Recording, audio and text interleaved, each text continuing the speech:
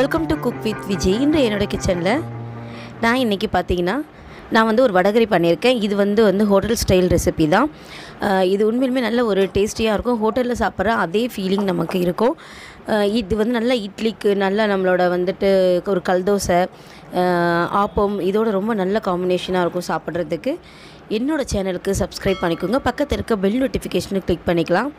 நான் இன்றைக்கி பார்த்தீங்கன்னா ஒரு இரநூறு கிராம் கடலைப்பருப்பு ஊற வச்சுருக்கேன். ஒரு ரெண்டு மணி நேரம் ஊற வச்சுருக்கேன்.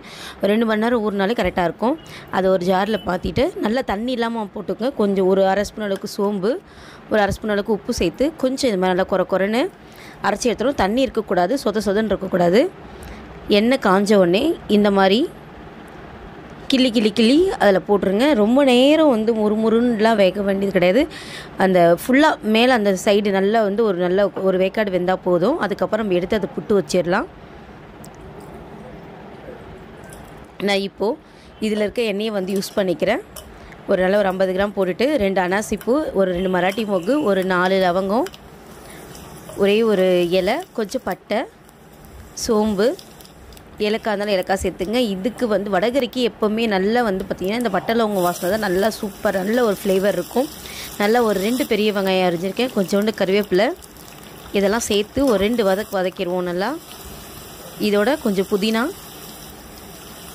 கொத்தமல்லி புதினா கொத்தமல்லி இதுக்கு ரொம்ப மஸ்ட்டுங்க இது நல்ல ஒரு நல்ல ஒரு ஃப்ளேவர் வரும் நமக்கு.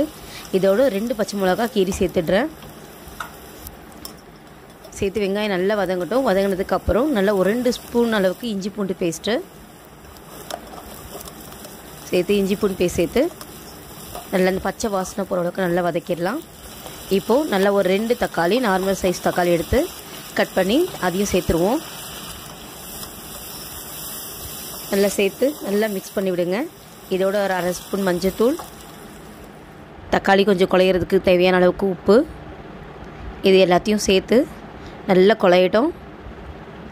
இப்போது இந்த ஸ்டேஜில் நம்ம வந்து மிளகாத்தூள் சேர்த்துலாம். ஒரு ஒன்றரை ஸ்பூன் மிளகாத்தூள் ஒரு ஒரு ரெண்டு ஸ்பூன் அளவுக்கு தனியாத்தூள் ஒரு அரை ஸ்பூன் அளவுக்கு ஜீரக பவுடர்.